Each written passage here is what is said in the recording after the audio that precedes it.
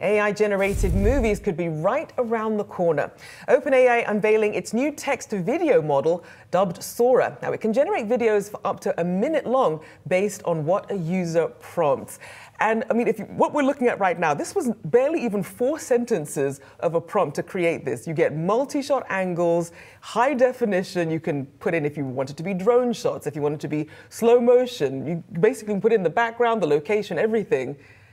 I mean, some of the it's visually it's, it's, stunning. It's it looks like 4K. Oh, that is cute. That reminds me of my dog. I don't know if it reminds me of your dog. It's so cute and small, but it, it looks incredible. And for people like us, it obviously leads to a question about what's going to happen to content creators in the industry. I feel like in our morning meeting, we were all a little bit stressed, but also there's the other part of it where maybe it makes our jobs easier. Maybe we don't have to spend hours and hours shooting B-roll and we can just type in traders, New York Stock Exchange, somehow make that beautiful. I mean, it's true. I'm, I'm looking at some of the, the, the, feedback here. Tim Brooks was a research scientist on the project. He said it learns about 3D geometry and consistency, but he said they didn't actually bake that in. It was just entirely emerged from seeing a lot of data. So really going to show just how much this can evolve, even some of these unexpected outcomes. I mean, if you look at some of, I mean, some of these visuals here, you also have to wonder though, when you see images of people, mm-hmm. intellectual property, what does that mean mm-hmm. for that? It's, since this isn't an original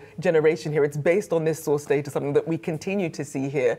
And also, if you're a makeup artist, an actor, if this really ties in, especially on the heels of a newly negotiated deal for the Screen Actors Guild and for the actors and artists in the industry. What does, I, I don't know if this is a level that they could have anticipated when they were trying to future proof their jobs here. Right. It's such a great. And we should also mention that OpenAI did not release any of the details about what went into this, about all kind of the ingredients that went into the secret sauce here. They're keeping that private. And so not knowing the extent of those capabilities may allow us to have a little bit of solace that maybe there's a lot more time between something like that being super usable for folks in our own newsrooms around, you know, video and content creation more broadly. Maybe we've got more time before we see super disruption. But I guess if it if it puts makeup on our faces the way a TikTok filter does, I'm not super opposed to that. I don't know how you feel about this, Rachelle. Well, it's one of those things. If you suddenly like move to the left, like I know I like to move a lot, and your makeup is still sitting like five inches to the right. Suddenly off no, the nobody, face. Nobody wants to see the before and after on that.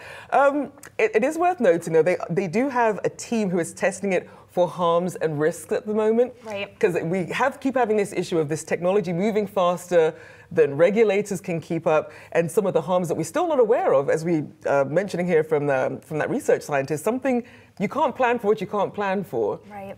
So really, at least being thoughtful about this, how this is being deployed. But this text to video, I mean, it's, it's pretty incredible when you look at mm. just the ultra 4K detail that you're seeing on this. You bring up a great point, though, which is some of the risks. And the CEO did mention that they have red teaming coming up for Sora. That's what they call the kind of team of specialists that test their AI models, make sure that they're not, you know, open to big cybersecurity threats. They basically act like bad actors, try to make something bad, bad happen with the tools in order to kind of prevent against that in the future. Uh, saying that a spokesperson from OpenAI saying that they're going to assess critical areas for harms or risks risks. So interesting to see as we continue to hear about cyber threats, you know, in, across all industries. We were talking about that with DraftKings earlier.